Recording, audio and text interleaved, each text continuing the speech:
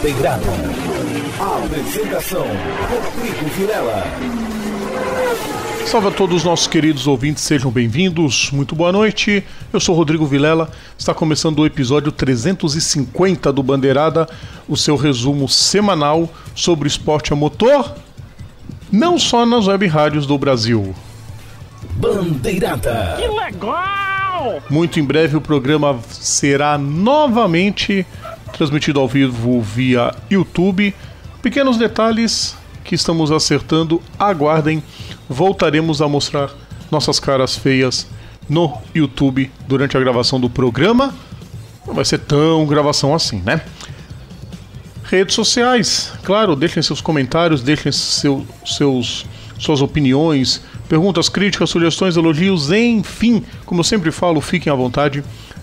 facebook.com barra bandeirada, twitter arroba pgm bandeirada, youtube.com barra bandeirada, instagram arroba, arroba programa bandeirada, nosso feed is.gd barra rss bandeirada ou pelas plataformas musicais Spotify, Deezer, Google Podcasts e Apple Music. Para você da Rádio Show do Esporte, para você da Rádio Esportes Net, como sempre, o nosso muito obrigado pela audiência. Ouça o nosso programa pelo site oficial de cada web emissora ou pelo Radiosnet, aplicativo que funciona tanto no Android quanto no iPhone.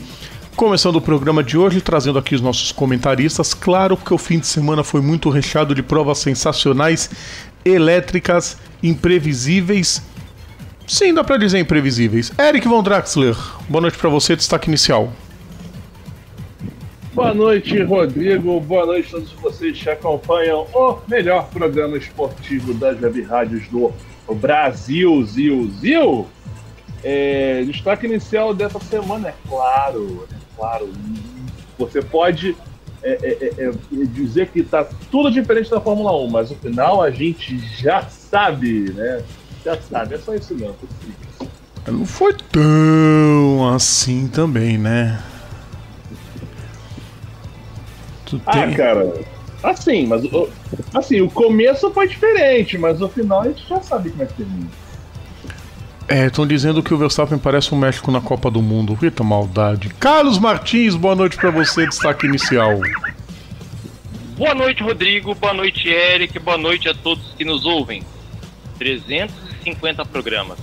A você que nos ouve, o nosso muito, muito obrigado. Destaque inicial: Sétima prova da NASCAR nessa semana, sétimo vencedor diferente. Será que vamos bater o recorde? A pergunta já começa outro: quantos campeões vão ficar de fora? Porque pelo andar da carruagem vai rodar alguém. Ah, ah vai. Que vai ser, ah, que vai ser interessante isso. Essa. eu tô adorando, né? Sabem que. É, é, é bom pra caramba quando tem essas surpresas. Mas vamos começar o nosso programa, claro, falando da principal categoria de monopostos no mundo, falando da uma das mais importantes de todo o planeta esporte a motor. Começou a temporada 2021 da Fórmula 1. Fórmula 1. Que saudade dessa trilha, né? Grande Prêmio do Bahrein, vitória de Lewis Hamilton, mas não foi assim. É, vitória de Lewis Hamilton. Não, foi vitória de Lewis Hamilton num duelo, numa batalha. Ah, não chegaram a duelar tanto assim na pista, foi na estratégia.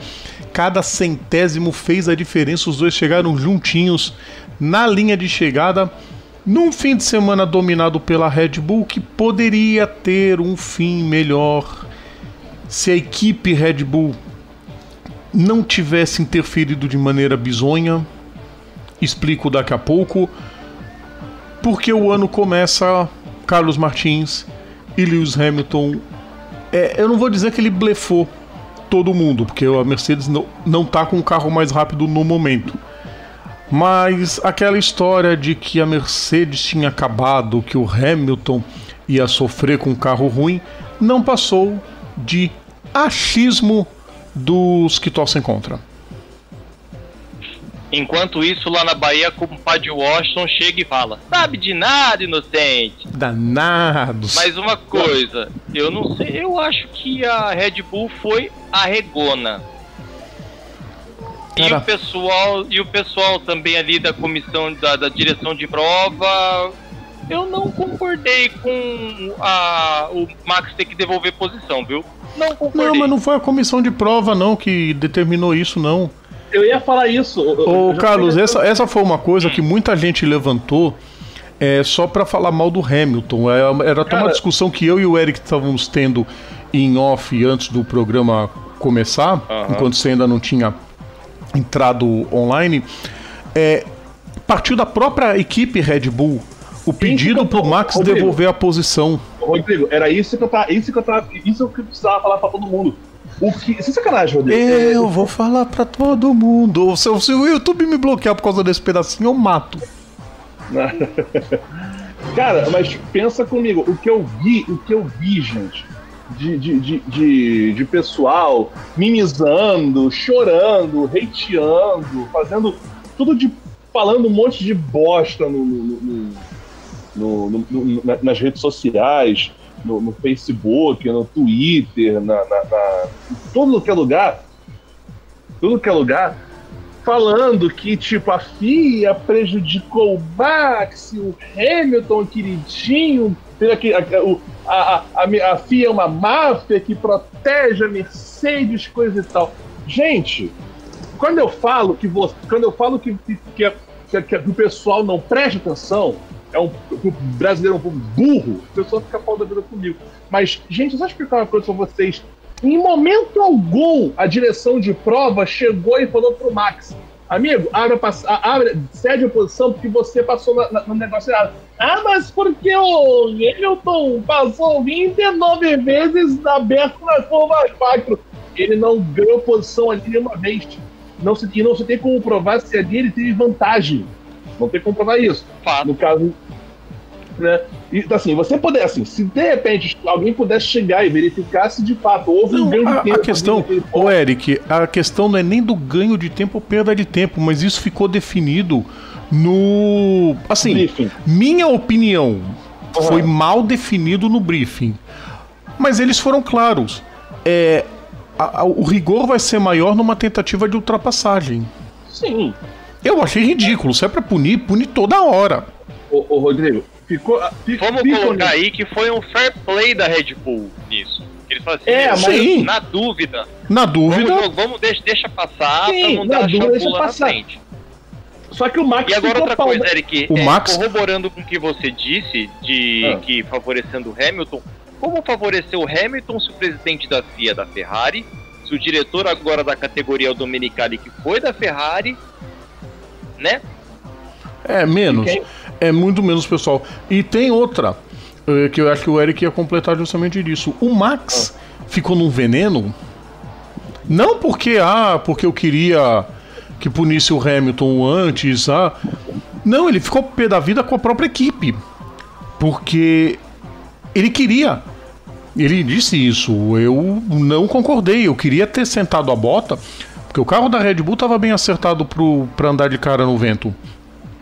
E, muito É. prova- e principalmente, no, e principalmente no miolo. E muito provavelmente ele ia conseguir descontar os 5 segundos que, E- que, a, que, a, que eles iam botar. Aí é que eu Sim. acho que as equipes hoje, como o Carlos falou que a Red Bull foi a regona, mas as equipes de Fórmula 1 no geral, elas são medrosas. Você não vê, por exemplo, ninguém. Eu vou puxar aqui da, da memória, nem é da Fórmula 1, é da Indy. Mas. Lembra aquele GP de Detroit que os dois carros da Pac West estavam liderando a corrida? O Blundell em primeiro, o Gugelmin em segundo. E arriscado, será que vai ter pane seca? Será que não vai? Será que vai? Será que não vai? E o dono da equipe virou e falou: fiquem na pista, se pifar, pifou, vamos arriscar. No fim, os dois acabaram parando na última volta. Falta isso na. Falta esse espírito nas equipes de Fórmula 1. Eles são muito. É, Conservadores. é, conservadorzinho, regulamento debaixo do braço, posar de, de bom samaritano. Não, numa dessas, Verstappen, senta o cacete, vambora. Não deu, não deu, mas vambora. E se a FIA não pune? Verstappen vitória acachapante. Agora, uma coisa é clara: a Red Bull vai brigar com a Mercedes no ano. Isso é um fato. O carro tá azeitado. Agora, Tá esse, balinha. não, esse ano agora temos um, temos um campeonato. Temos um campeonato, temos uma disputa. Como diz Rômulo Mendonça, temos jogo. Exatamente, a disputa vai ser ferrenha, a disputa vai ser bacana. E olha, eu coloco ainda. Não, Bottas não dá pra colocar tanto. Ah, bota Que Bottas, mas o Pérez vai evoluir muito ainda. Sim. Foi um azar o que o Pérez que ele teve na ontem. corrida. Aliás, foi um azar o que o Pérez teve no treino. De não ter conseguido passar pro Q3. Aí eu já ouço gente, não, o Pérez já tá sendo fritado. Eu falei, gente, é a primeira corrida, calma. Cara, Ele tá sendo fritado depois com a apresentação de gala que ele teve no, no fim da corrida? Ah, Então vocês gente, querem- menos, mas hein? o, bem menos. O, o- o- Rodrigo, você quer ver uma parada meio bizarra? Uma parada meio bizarra? Pensa comigo. O, o Pérez foi responsável pela corrida ter uma volta a menos. Certo? Já estão falando que ele fez.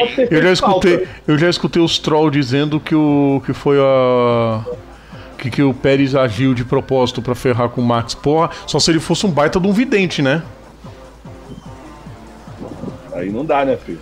Não, pelo amor de Deus. Outros destaques. Gente, essa prova teve muitos destaques positivos, na minha opinião. Muitos. Alonso voltando muito bem, o carro quebrou, mas voltou bem.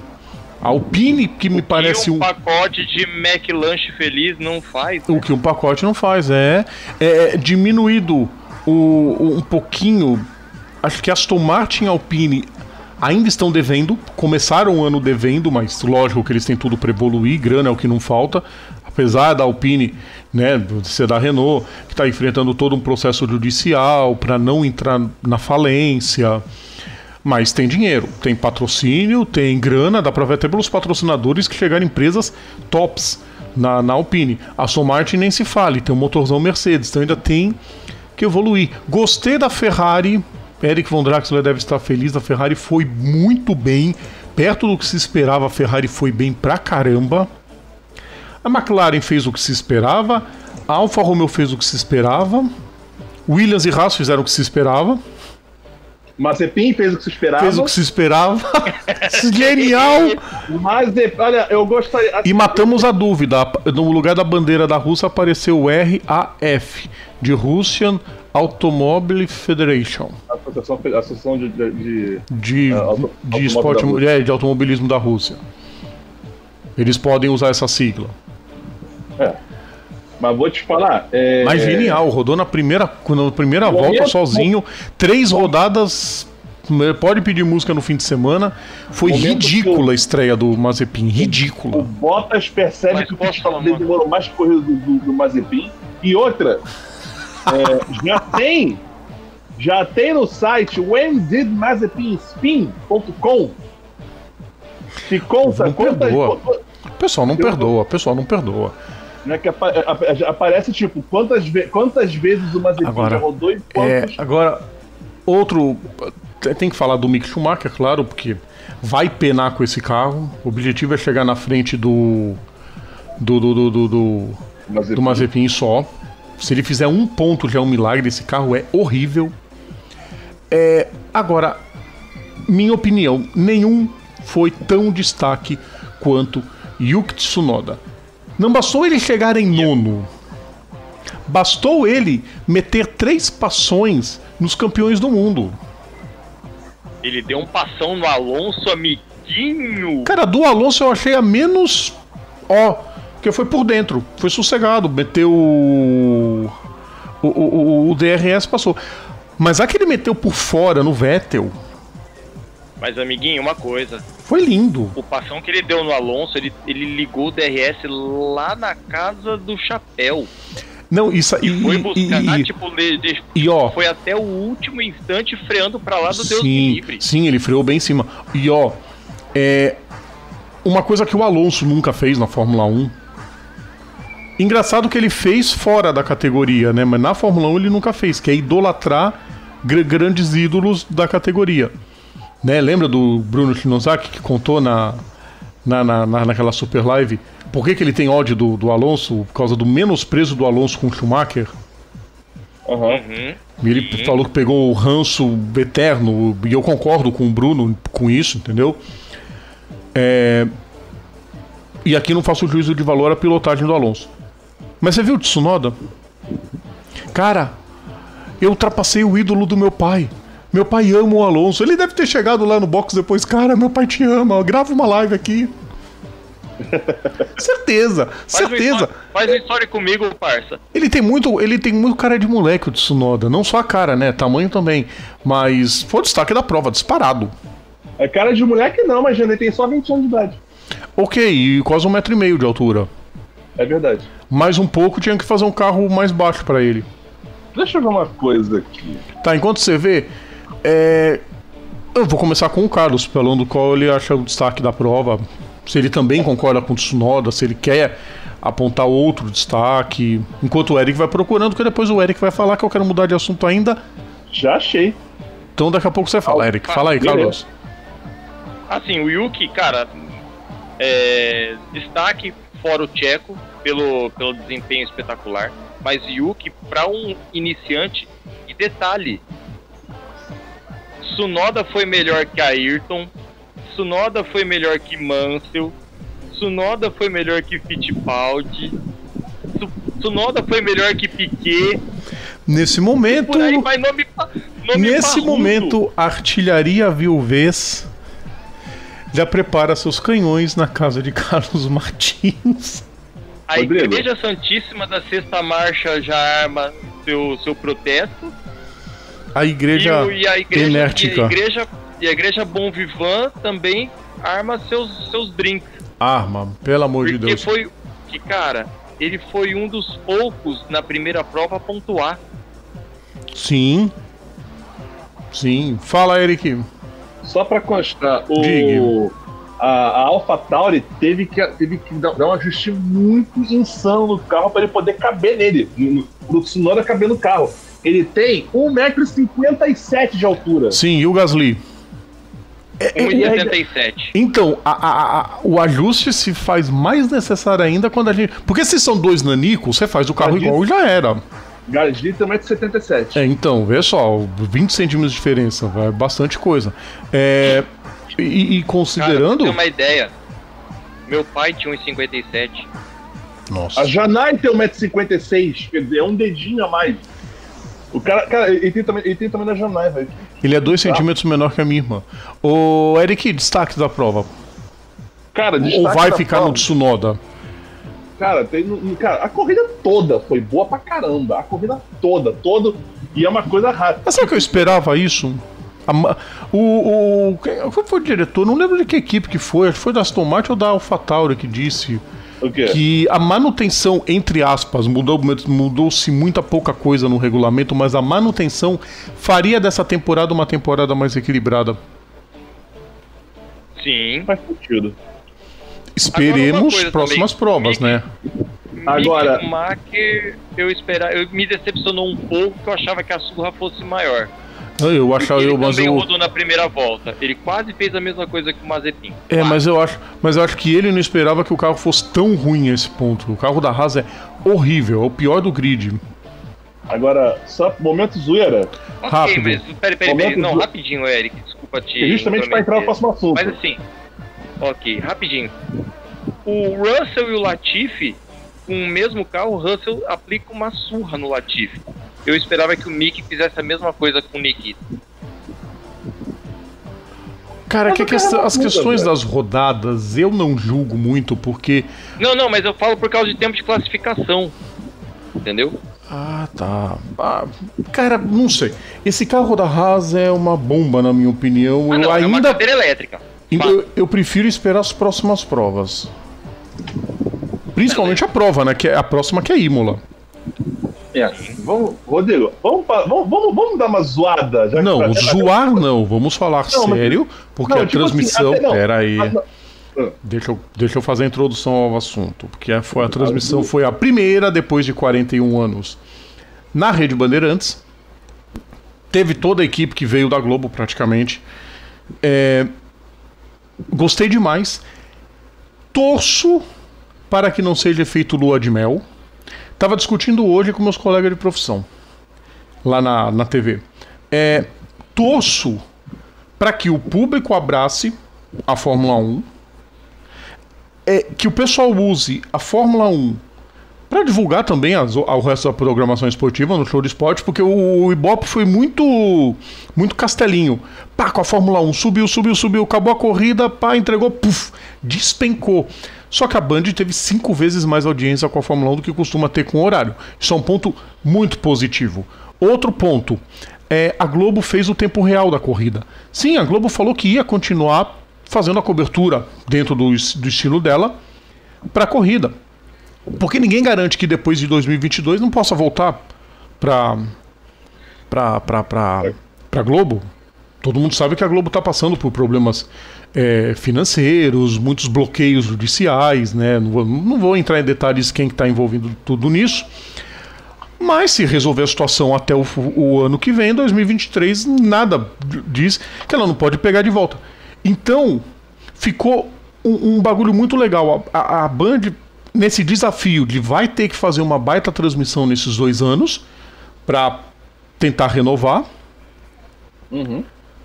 E não duvido nada se isso não abrir um, um, caminho. Eu duvido, eu duvido, não tem isso no mundo inteiro, mas eu duvido que de repente não seria um estopim para duas emissoras transmitir a categoria. Nem que seja uma em aberta, outra em fechada. Olha. Acho impossível, acho impossível. Mas eu achava Ô, impossível sair da Globo. Eric e Carlos, opiniões de vocês acerca da transmissão da Band. Não, primeiro, a primeira, primeiro é a zoeira que você não deixou falar, mas tudo bem, agora eu vou falar assim mesmo, porque dana -se. Não, pode falar. É, mas não, se é o que eu tô pensando, não é zoeira. Não, não mas fala. Assim, eu vi, assim zoeiras, a, é, zoeiras à parte, que eu sei que deve ter muito. Deve ter muita gente comemorando, né, que saiu da Globo, né? É, é, é deve ter, tipo, Pois ó, a Fórmula 1 sair da Globo lixo que ela melhorou 320%. Porque a corrida foi boa pra caramba, quer dizer. Mas até o, até o Nelson já deu uma espetada na Globo também, né? Só pra, só pra constar. Mas assim. Me aguarda no zero. A transmissão da, a transmissão da, da, da, da Band, considerando. Assim, ok. É, é, é, esperamos também que isso não seja feito, como você falou, efeito lua de mel, coisa e tal, mas Cara, eu nunca vi a Globo fazer transmissão nesse nível. A, quer dizer, para não dizer que. para não ser injusto, fazia quando era grande do Brasil. Não, a Globo. 2014 inteiro. A Globo não, tinha esse assim, esquema bacana. Foi nos últimos quatro anos. E coincidência ou não, foi quando o Bernie Eccleston deixou de mandar na categoria. Por incrível que pareça, foi quando a Globo começou a, a, a dar de ombros para a categoria. Porque, pô, 2014 era classe A, o Rubinho e a Mariana Becker lá no, na pista, no grid. É, e também porque não tinha BR competindo, né, cara? Isso aí também ajuda. Mas mesmo assim, não tem e a transmissão foi muito boa. Não, é, mas é isso que eu tô falando. A Band, a Band, ela já tem uma, um, um, um retrospecto com o retrospecto com essa questão de transmitir de transmitir, como é que fala? Esporte motor. Esporte, não, esporte? Sim. Não, é não e principalmente motor. o esporte motor. É, ela tem é também um, um know-how. Quando, quando eu digo, Eric, e aí eu quero que você complete, o, o efeito lua de mel, porque começou assim com a Indy, e depois vocês viram tudo que aconteceu com a Indy. Sim. Esperamos que o nível se mantenha. Não precisa ficar nove horas de transmissão, mas que comece com meia hora antes. É, que melhore o site, porque o site da Band travou demais. E Mas com a Globo também, não acontecia isso de jeito nenhum. o, o, Rodrigo, outro ponto, Eric, rapidinho, Ivo, quero que você complete. É outro ponto. É Fórmula 1 é evento nacional. Ah, mas a afiliada XYZ manda as afiliadas para Cucuia e obrigue-as a mudar seus horários. Fórmula 1 tem que passar no Brasil todo. Não tem essa de ah, a afiliada lá não quis porque o filho do dono. Por problema é dele. Filho, pode chegar, ó, estamos pagando caro. Tá aqui. Pode transmitir essa bagaça a tempo real. Ah, mas isso não. Então você não é mais afiliada, ora. É, é uma coisa tão simples. Aqui em Santos, a, a TV Tati, que é a, a afiliada da, da Band, Mudou a programação por causa da Fórmula 1. Imagina que não vai. Ah, Cara, aquela parada, né, Rodrigo? É, é, é, primeiro também porque é o seguinte, eu não me lembro se isso acontecia na Globo, tipo, as afiliadas e as, as afiliadas encebar com a transmissão da Fórmula 1. nunca. Não. Já tinha assim- contrato. Quem, é, quem era afiliado da Globo tem que entregar no horário. Porque a Globo, com questão de, de afiliadas, sempre foi um bagulho religiosamente cumprido. Sim, A única sim. coisa assim de afiliada, não sei é, na região de vocês. Aqui, por exemplo, Campinas tem coisa, por exemplo, regional sábado à tarde. Não, é o, o sábado à tarde é horário regional. Que aqui também passa horário, programação local. É, mas aí não tem Não sei como. como é no Rio. Se tiver, se tiver corrida de. Não, de- sim. Evento, evento Não, nacional não, é evento nacional e fim de papo. Não é nacional, é mundial, Cara, a eu diria. Band né? mandou muito bem, só essa, essa ressalva. É, mas são pequenas E- ressalvas. A transmissão em si foi Pequena- fantástica. O Sérgio Só- Maurício só mandou. caras Pô, poderem- Agora você. Outra coisa, Sérgio Isso a Band Maurício. mostra, e Reginaldo- colocar, isso a Band mostra. O pessoal poder falar Red Bull ao invés de RBR, STR, ATR, que fala sigla, amiguinho, fala, fala o nome inteiro, cara. Sim, sim, isso é um ponto positivo. É a liberdade que eles tiveram de, de fazer Mas ali, realmente. ó, foi uma coisa que o Rodrigo Matai relatou nessa semana. Ficou todo mundo ali com um quesinho de ressentimento. Amiguinho, você tá em outra casa já, deixa pra trás. É, um tiquinho. Não, mas assim, mas as alfinetadas que eles deram foram muito sutis. Tipo assim, ó, Sim, se um dia. sim, sim. Porque assim, quem manda na transmissão da Globo é o Jaime Brito. É ele quem fazia a ponte entre a FIA e a Globo e é ele que tá fazendo a ponte da FIA com a Band. Ele que é o cara Certo? da transmissão. É meio que um recado assim. Se quiser de volta, vai ter que fazer melhor que a gente. Porque aqui o nível, o, o sarrafo subiu. E Exato. não, e não subiu pouco, não. Não. Mas ainda Eu o Sérgio Maurício tem uns vícios. assim- Eles ele tem uns vícios ainda que me incomodam bastante. O que não tira o brilho da transmissão, entendeu? Mas uns vícios. Pelo menos ele parou de chamar o Verstappen de Vespa. É. Que era um apelido que só ele tinha inventado pro. É o Vespa. É, o Vespa. Ainda, ainda podem karaokê, Vespa. Ainda podem karaokê. Mas, cara, E eu, e eu achei legal também o pré deles. Na sexta-feira, eles mostrando o filme Rush, e aí o próprio Sérgio Maurício com o Reginaldo Leme falando sobre. Cara, a preparação deles para o início da temporada foi uma Sim, né? Foi um bagulho monstruoso, né? Lógico. Eu, eu não esperava sim. nada menos. Porque depois de 41 anos voltando pra emissora, meu, vai ser o carro-chefe da, da programação com certeza. Por isso que eu falei, tomara que Uhum. use pra divulgar também o restante da programação, principalmente do show de esporte. Eu não vi em momento nenhum, por exemplo, na transmissão, Sérgio Maurício, olha, depois da corrida, fique ligado aqui na Band, porque nós teremos tal coisa dentro do show de esporte. Você entendeu? Ele só falava, volta o show do esporte. Nem aí, eu quero ver evento esportivo. Você entendeu? Deveria falar, tipo, campeonato italiano. É, campeonato- qualquer coisa que fosse ter. ou a estoque que ia ter logo depois, né? É, não, não teve porque foi adiado. Ah, é verdade. Pô, pô, Eric. Tanto que o Marcos Wilson participou da, da- da- do, do- do pré da, da pré-corrida porque não teve a A estoque. não teve estoque. Sim, foi, né, foi mal, falho. Muito vai. Mas no fim das contas acho que então a posição de vocês é de total positivismo com essa transmissão da Band, né? Eles se Cara, sentiram mais leves. Assim, é, uma coisa que eu, assim, eu sempre falei, uma coisa que eu sempre falei, eu sempre falei esse tempo todo é que assim, a Fórmula 1, é, como qualquer esporte motor, é, é, é, não já, tipo assim, já tá meio que na hora de. Eu sempre falei, eu sempre falei isso, que não, não, não faz mais sentido você botar a Fórmula 1 na TV aberta. Não faz mais sentido, hoje em dia não faz mais sentido você botar a Fórmula 1 na TV aberta. Por quê?